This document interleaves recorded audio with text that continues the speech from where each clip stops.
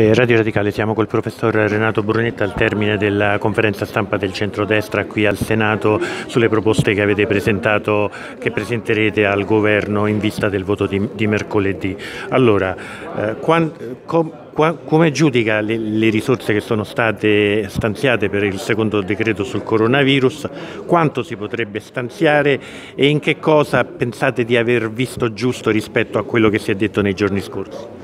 Ma, eh noi abbiamo visto giusto spiegando fin dall'inizio che c'erano due emergenze, quella sanitaria e quella economica. E fin dall'inizio il centrodestra, noi di Forza Italia, abbiamo specificato che bisognava affrontarle eh, tutte e due insieme, ovviamente a partire da quella sanitaria, eh, come in parte si sta già facendo un po' caoticamente, ma si sta già facendo, e affrontare in parallelo quella economica, perché quella economica rischia poi di avere un prolungamento nel tempo molto più difficile e molto più tragico eh, dal punto di vista dell'economia di, di quella sanitaria. Per questa ragione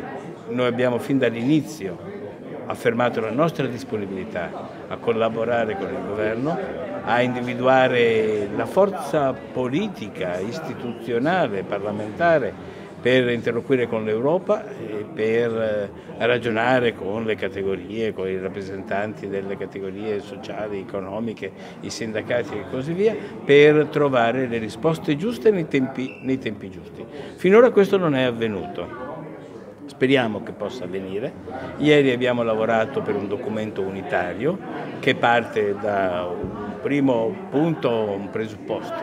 che è quello di considerare come risorse da mettere in campo quanto l'Italia nel 2019 ha, tra virgolette, eh, come dire, accantonato rispetto alle tasse e rispetto alla spesa, il cosiddetto avanzo primario, un punto virgola sette di PIL, circa 30 miliardi di euro. E quanto serve, servirebbe, è servito nel passato per tenere sotto controllo eh, il debito, il rapporto debito-PIL, oggi noi pensiamo che questa quantità, che è il lavoro degli italiani, e quanto gli italiani hanno accumulato per tenere sotto controllo la propria finanza pubblica, in questo momento vada nella stessa dimensione destinato alle due emergenze, all'emergenza sanitaria e all'emergenza economica, di pari passo, coinvolgendo ovviamente l'Europa per l'emergenza, per poi, dopo l'emergenza, ma partendo come riflessione da subito, ragionare sulla crescita, sugli investimenti, su anche una nuova forma di governo, una nuova compagine di governo e nuove regole in Europa, perché quelle che abbiamo visto funzionare dalla crisi di Lehman Brothers ad oggi non ci sono mai piaciute, le abbiamo considerate come dire, insufficienti. Ecco, servirebbe whatever it takes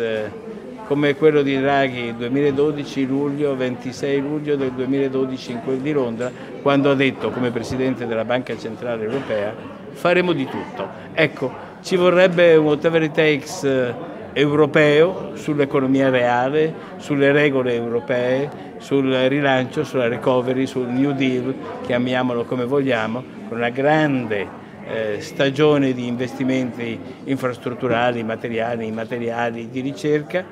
una nuova Europa più solidale della crescita, dello sviluppo, della dignità, una nuova Europa, non l'Europa che ha paura, non l'Europa egoista, non l'Europa che blocca il nostro parmigiano alle frontiere,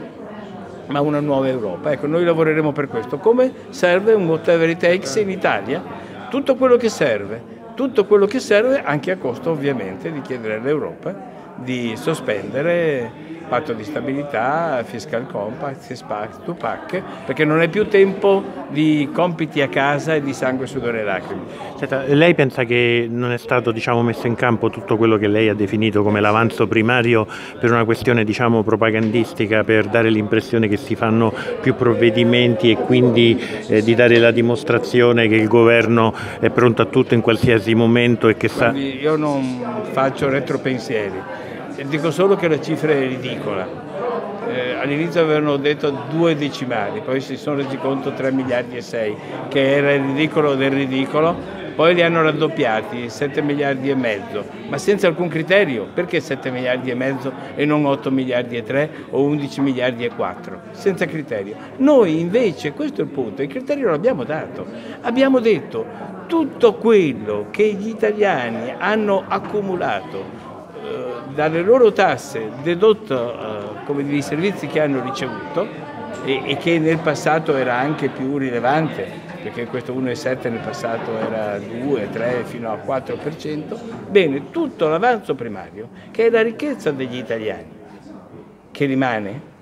vada impiegato nella stessa entità per rispondere alle due emergenze. Quella sanitaria in primis, che vuol dire assicurare a tutti eh, dire, la ospedalizzazione di emergenza, eh, la ospedalizzazione per quanto riguarda